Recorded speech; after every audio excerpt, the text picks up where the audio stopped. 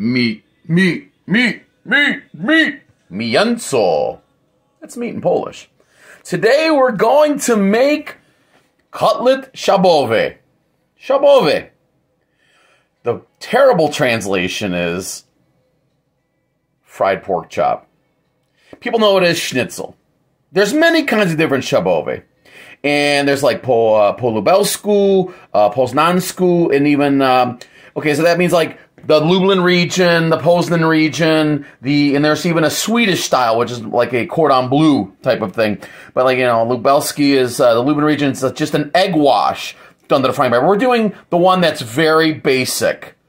Okay, the the old schnitzel type. So join me. We're going to use some breadcrumbs. Of course, we have our pork loin. The uh, half of it's gone because I took it to my friends the other day. We made a pork roast. That was that redder part, one with a little more um, uh, fat in the meat. And so we took it. This is the better part to use for cutlets starting in here. So we're gonna we're gonna take that uh, fat off. And then we're going to start cutting it up. And I got, I, as everything else, I get it from my local butcher. So we're going to use some breadcrumbs plain. I'm going to show you how to spice them up. Don't use pre-seasoned breadcrumbs. It's ridiculous. Don't let someone decide your flavors. Some eggs, canola oil, milk, and our lovely meat pounder there. So let's do this. Cutlet Schabowy! So there we have it. I took that uh, fat and skin off. Sometimes you get a little bit of meat off of that. It happens. So what I'm actually thinking about doing with that, because I don't like anything to, to go to waste, is I was going to maybe salt it up and render it and try and get some more and make make a lard with it and then put it in my um, bacon fat jar so I could use it for cooking for later. I, I try not to let things go to waste. So we have that. We have our loin. Okay. What I'm going to do is I'm going to chop it up in slices. Then I'm going to spread it out and I'm going to pound it. So stay tuned. Here we go. And a little bit of note here. I gotta I gotta retract back a little bit. When I took my loin, because what you want is you want nice straight loin that you can cut into nice cutlets. I realized that that this part here was attached to it, and it's a little bit, and it was just held back by some fat. So I took that out. And of course, nothing goes to waste. So I'm going to put that in my goulash bag, I like to call it. Uh, I put a bag, and then when I make goulash or something, or make sausage or kibasi, I take that scrap that scrap meat and I uh, use it. So nothing's going to waste. So I just wanted to make a note of that. So you want to take off all those sides. That fat's okay. It's going to be good. So you want to make sure that you're able to cut just nice chops. Hence, pork chops. Hey, hey. So we cut up our pork loin. And uh, I cut them one inch pieces. And how do you know that? Well, because my thumb is two inches from here down to my knuckle there. So I know about one inch on these cutlets. One inch, one inch. Okay. And as you got to the end, closer to that other part that I mentioned that was like the roast, the red meat style, is you see some of these chops may not make the cut. Okay, there might be a little bit too much. It may separate a little bit. We'll see. This one will probably make it, mm, maybe this one, but definitely these two. Well, we'll try. But if not, they go to the goulash sausage bag. So, but look how many loins, look how many chops you get out of this. You see how it starts changing right about there. You see, gets a little different there. Then it starts to get a little, you see where that loin separation is. We can get away with that. We can get away with that. And then it starts to get a little, we can get that. And uh, there'll be a different texture on it, but then we get that. So, like I said, we're going to see what we can do. And let's see how many chops we got out of that. 1, 2, 3, 4, 5, 6, 7, 8, 9, 10, 11, 12, 13, 14 chops out of that loin. So imagine that. You can feed so many people, and pork loin is always so inexpensive. Like I said, the best the best food of Polish and actually anywhere in the world is people that that that have to stretch or, or you know uh, live within their means, and this is no exception. The reason they pound it out and uh, bread it and such is because it doesn't have a lot of fat. Now, of course, you see a little fat here, but that's not what we're talking about. In general, when we're talking about these nice white pieces, you know, that's lean. So what are you going to do with it? You're going to pound it out. You're going to put it in a uh, uh, an egg and and, um, uh, milk wash, and then bread it and then fry it. Okay, so we make the best of everything. Gotta love the Polish. Now I have a little bit of a cheater trick. I know I try to do things as authentic as possible, trying to do what my grandma did, but I'm sure this is something grandma did not do. But if you can see, I put um, saran wrap, plastic wrap, whatever you say about it, whatever you want to call it. on my cutting sur- my, on my uh, uh, table surface. And what I'm going to do is I'm going to put these cutlets spread out, and then I'm going to put a sheet of the plastic over it. So when I pound it, it stays contained. There's no splatter. There's less mess. Easier cleanup. And just a better, better situation overall. So I'm lining uh, my uh, area with plastic and then putting my cutlets on. Of course, I got to move the cut. And, uh, but I'll show you when I'm all done and get ready to start pounding the meat. Make sure you want to leave enough space. Then leave enough space so it's going to expand because this cutlet here is going to be about this big by the time we're done. So that will become that. So you want to leave it up room. So I've got plastic below, plastic on top. And we just simply pound these out. Not too hard. Use the uh, divoted, uh, the uh, pegged side, whatever you want to call that. It's nice and easy. We see how the difference already went from that to that. And we want to pound it. See how I do it in a circular motion and then go to the middle, push out. Go to the middle and push out. Go to the middle and push out. And when you tap it evenly, you'll realize that you get a nice even spread. And when it gets to about there, that's that's your cutlet. See? It went from that to that. Do you see the difference? And look at the lack of mess because I have the plastic on top, plastic on the bottom. It'll be an easy cleanup. It'll be easy maintenance. And that is a little less cleanup because you don't want meat getting in between your and your inside your mallet there. So we're going to keep continuing pounding these cutlets up. I uh, also thought of something as I'm pounding. I've, I've been in situations where, you know, I've been asked to cook or something comes up or I forgot some equipment. And I, oh my God, I don't have my meat mallet here, um, my meat tenderizer. But you can use a flat pan. Um, a cast iron would be nice because it's nice and heavy and you want to get nice, even central pounds. And it will pound out. It will pound out because this meat is is very malleable can really you know shape that any kind of form. But I remember that, so I wanted to you know share that information that um, I have uh, used a flat pan because I didn't have a, a mallet. So this you, you, can make your way through it. Look at that. See how the difference is? Look at that. See how this? So we got a couple more to go. The next step. The meat is pounded. Remember I told you about those ones towards the end I wasn't really sure of. You see, it just it just started to be at towards the end, but you can still use it, see, because nothing goes to waste. And it's not going to be any kind of difference in the texture or the form. But those are those ones I said, ah, I think they're going to make it. I really didn't even bother using the ones that I said. You know, I will pound it out just for just for principle, just to see what happens. If not, I'll throw them in the goulash bag still. But here's something really cool. I've always noticed this while pounding out uh, schnitzel or uh, is that the cutlets kind of look like Poland when you pound them out. But there's always one that really always looks like, look at that. That looks just like the country of Poland. I wonder if there's something to that. And they kind of take the shape of the map of Poland. Isn't that cool? I, just, you know, I notice these little weird things. I'm, I'm a food nerd. What can I say? But we're going to go on to the next phase. We're going to take this plastic off. We're going to start preparing our uh, egg and, and milk bath and our breadcrumbs. And we're going to get our pans ready. And we're going to start frying these. Again, Easy stuff. You don't need a lot of equipment. You don't need the special equipment.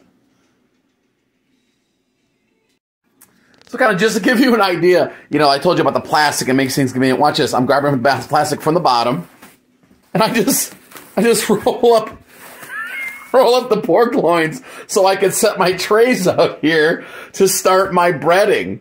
So isn't that neat? Oh, oh, we got a stray. We got a stray. Escapee, escapee.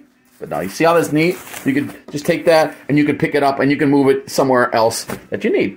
But it's all there. Isn't that cool? So we're moving on from our ungrandma-like convenience of having the uh, plastic.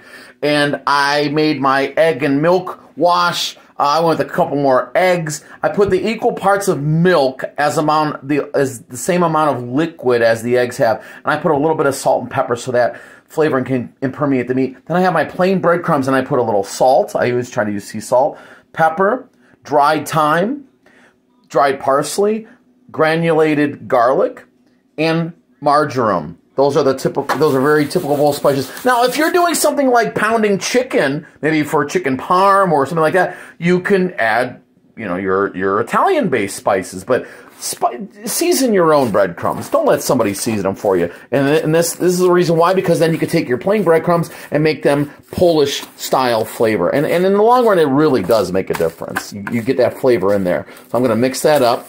I'm going to whisk together that uh, egg and milk with the salt and pepper, and we're going to start breading, and we're going to get our pan hot, and we're going to start cooking. Again, not hard, folks. Not hard. Just a little time consuming. A lot of love. People think you'll people think you spent a lot of time and a lot of effort on it. Well, you did in some way, but just take the compliments. The egg and milk wash is all ready. The breadcrumbs with our Polish spices are in there, and we have our meat, and we just put a bunch of them into the into the egg wash. Let them start taking in a little bit of that egg, salt, and pepper. So you put a lot of them in there. Okay, and there's another trick too. A friend of mine told me years ago. Thanks, Stump. Um, you know, egg with the left, breading with the right. So we're gonna try that as much as we can. I might even have to get my phone a little messy, but gotta practice what I preach. So you want to get those egg wash pieces of meat in that egg wash. Okay. All right, so I'll grab my little towel here. So I'm to switch hands with the phone. so first, you take one of your cutlets into the right, the wet hand on the left. See? So then I switch the phone. Oh, got my thumb in the picture there. All right. And then you take the breadcrumbs, pour it on top, and pat it down a little bit. You want to push those, want to push those uh, breadcrumbs in. Do it again on top, on the other side. Tap it down. Shake off the loose and look at that. Isn't that beautiful? We're gonna do that for all of our cutlets. Okay, and then we'll fry. So I believe in prepping. You know, let's do them all at once. If you have a second person, one person does the egg, one person does the breadcrumbs. But try to do your left hand with the egg and your right hand with the with the uh, breadcrumbs, and then that's what you're going to get. We're going to keep doing this a little bit. Okay, so we got another one here. All right, onto the dry my hands so I could switch the phone holder. All right, here we go again. Toss them on top. Pat it in. Flip it. Throw it on top. Pat it in. We'll spank, spank the meat. Spank your pork. You go. It's another cutlet. All right, we're going to keep doing that for all 14 of our cutlets. Then we'll go to the frying pan. There is all of our cutlet schabowy breaded and ready for the fryer. A lot of our eggs gone, a lot of our breadcrumbs are gone. Now, if you want to be resourceful, you can reuse these eggs. Well, there may be a little bit of pork in it. I doubt it, but anything that's in it will die off or cook off uh, when you cook it. So if you want to save it for tomorrow, make some scrambled eggs or an omelet. There you go. I also mentioned in my kopytka potato uh, dumpling recipe one of the toppings you could put on kopytka dumplings is take the breadcrumbs and put it in butter in a pan and make it like a like a like a crackling, like a crispy, so you can use those um, herbed Polish herb, Polish spiced breadcrumbs. So if you don't want to waste things, which I don't like to, so I try to reuse things, you could try and reuse that stuff. There won't be no harm in that. So we're about ready to go to the frying pan. We got the pan on a medium high heat. Usually I have a much bigger pan, so it's going to look, look kind of funny when I only have one or maybe two uh, schabowys in there. But I uh, took it to a food event, and it's still at my buddy's house from using it. So Troy, give me back my big frying pan. But here's how we know that the frying pan is ready. I have it on medium high heat, and we sprinkle a little water on it. And when those beads dance around like that, see, that means it's hot enough. So we're going to put some oil in, and then we're going to test that heat by putting in some breadcrumbs, seeing if it sizzles. Remember, hot wok cold oil. Don't put the oil in and then heat it up. Use a hot wok for cold oil. Oil's coming up next. Hot wok, cold oil. Then you take a little bit of your breadcrumbs and drop it in. And if it starts to sizzle and cook like that, well, actually that's a little bit low, so we're going to turn it up a little bit and try to get the right temperature. All right, let it heat up. Put it up uh, a little bit hotter just for a second. Actually, it was like 10 seconds since I turned the film off. And see, I toss it in, and look, the breadcrumbs are starting to cook. That means we're ready to drop our first cutlet schabowy. Look at that. Perfect. Look at how that's sizzling. It's going to be about two minutes on each side. And that way it allows, if you want to cook it longer and to heat it to serve, great. But this allows you to pre-make them and you can then freeze them or hold them until you want to eat them hot and then you can put them back on the skillet. It'll finish cooking, even though most of it is, but it gives you that allowance of being able to reheat it uh, while still finished cooking so it doesn't get overdone, doesn't dry out. Okay, and you see the edges are browning. Look at that, just for, isn't that beautiful? Look at that. Actually, I'm going to flip that. I know I said about two minutes on each side, but look at that. That's about a, I don't know, you probably back time it. And I have my cookie tray with my uh, paper towels to absorb the grease. I use a canola oil. It's quite light. You don't want to use an olive oil. It, it burns too quickly. It has a high flash point. Um, a canola oil is good. You could use vegetable oil. I like canola. It's a little bit lighter, um, a little less flavor of the oil than others. But canola oil. Now, some of the tricks again that, oh, got to be careful the fire alarm even though I have the fan on. Let's go deal with that and be right back. All right, I turned the fan on high. I opened the window so I get a little ventilation. And there we go. Well, that's a little bit done on that side, so we want to be careful for the next one. Okay, so here we go. Yeah, another one on there. I'm going to try and get two as we go on. I was saying before, a friend of mine taught me years ago that when you're making, um, you know, uh, schnitzel like this, veal, chicken, after about two or three cutlets or two or three rounds of cooking, get rid of it dump your oil out, start with fresh oil because it's going to get darker and darker. And you want these all to be the same kind of consistency. I did let that one go a little bit, but that's the kind of color you want right there.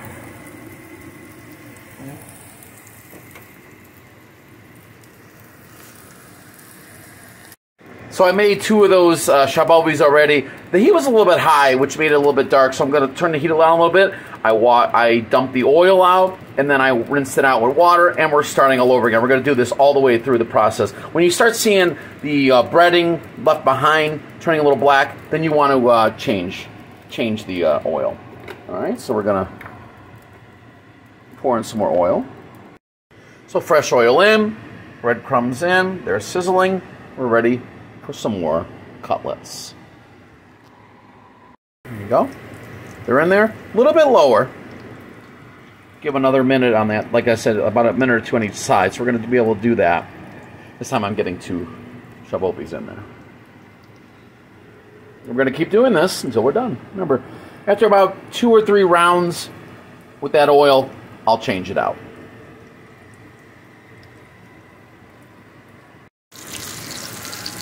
I did get a little more control of the heat. It's going to take a couple of uh, schabowys on in the pan to notice uh, when, when, you're at the right temperature. So, so that's what I have. First, uh, first side was two minutes, and this side is well underway on its two minutes. But look at how that beautiful golden brown color is. You see your herbs, they're present. And if you could smell this, oh my god, it smells so wonderful. Okay, you see? A couple minutes on each side. It's, that's definitely done. And if you then again, it allows you to reheat it without overcooking it. The moisture will not go away. It's sealed in the juices. And we're going to keep going and adding more. See, we're going to get a second round. Gently push it over. You can find a smaller one. Try and get two on there. I don't think there's such thing as a small one in here today. Well, this will this is the winner of the small one, I guess. You got to make a little room in the pan. If you get multiple pans, you can get multiple pans. If you have a big pan, like mine, which is sitting somewhere waiting to be picked up in a seasonal home, maybe you won't see it through the winter. I hope not. I like my pans. If you notice, a lot of my kitchen equipment is commercial. I shop at a restaurant supply shop. I'd rather that than some uh, big box store cooking set. It just never works out. So I'd rather spend a little bit more money and just have something that's going to last forever, guaranteed. And about two minutes on each side. Nice and golden. I got that temperature under control. And uh, yeah, I am starting to sample the goodies. And you got to. Remember, never trust a thin chef. Mmm. Oh my gosh, it's so great. You taste the salt and the pepper, which permeated the meat in the egg wash. And then the breading, so nicely flavored with those Polish spices that I told you about. Makes for a wonderfully flavorful cutlet schabowy. When are we going to get smell-o-vision? When is this happening?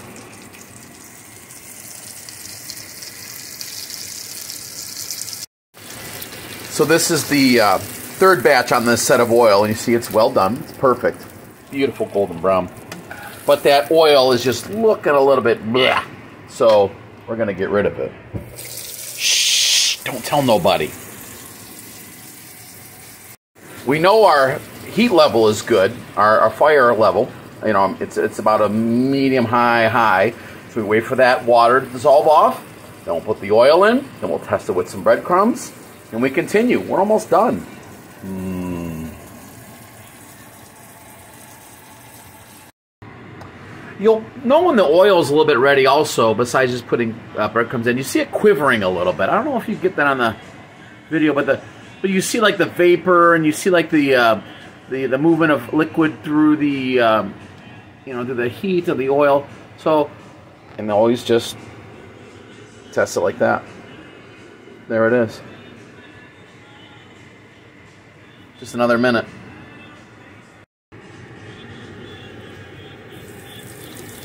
There we go. See? All right. Now let's flip that one over. Grab that little, get a little tab here on this one. It's kind of cool. There you go. There we go. Couple minutes on each side. It's piling up.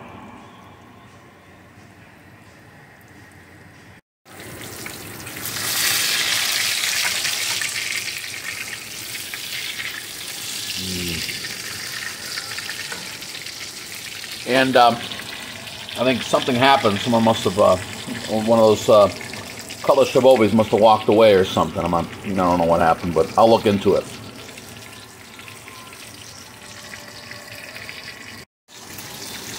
After further investigation, I have found the missing cutlass. Yeah, it was me the whole time, okay? But look at that. It's thin. It's well cooked all the way through. This is one of the first ones. Remember, it was a little bit burnt, but there's really no difference in flavor. Maybe aesthetically, someone might not like it, but there's nothing wrong with it. It is so wonderfully tasty. Perfect, moist, juicy. Mmm. a cup of Schabowy is the way to go, man.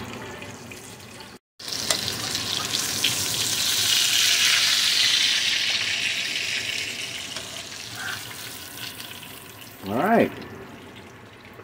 Well, turn the heat off. We're all done. And there you have it. Cutlet Schabowy. If you're counting, yes. 14 arrived. 12 made it through. Coming this winter. Who stole the pork? That's Cutlet Schabowy. This is actually the centerpiece of one of my favorite Sunday dinners. Sunday dinner is very important for me. It was definitely reinforced when I lived over in Poland. Uh, this with some red sauerkraut, which I have in a previous video, and kopytka, potato dumplings, which is also in a previous video. And you can top this off with maybe a horseradish uh, soured cream, an herb sauce, or maybe a mushroom sauce, or nothing. Maybe some applesauce on the side, however you like it. There's nothing wrong. But this is Cutlet Schabowy. Hey, you want to subscribe because I'm going to keep making stuff like this sauces and herbs are coming up and salads. So you want to get a definitely want to subscribe so you don't miss out. There it is, Cutlet Schabowy. And that's the one that looks like Poland right there. Cutlet Schabowy. Mm-mm-mm. Thanks for tuning in.